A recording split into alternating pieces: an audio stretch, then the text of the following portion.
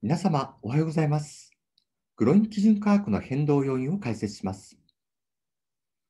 グロイン毎月分配型の1月28日の基準価格は2488円でした。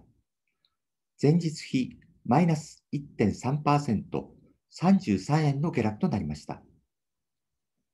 グロインの基準価格は前日のルクセンブルクの16時、ニューヨークの10時の時間に基づいて計算されています。続いて、為替と株式別の変動要因です。基準価格の変動のうち、為替要因がプラス6円、株式要因がマイナス39円でした。27日の株式市場は欧米ともに下落しました。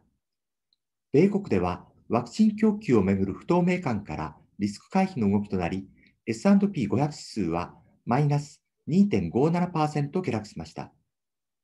米国の公益株指数はマイナス2.69%の下落となりました。為替は FRB 議長の景気回復への道は長いとの発言でリスク回避の動きからドルが買われプラス要因となりました。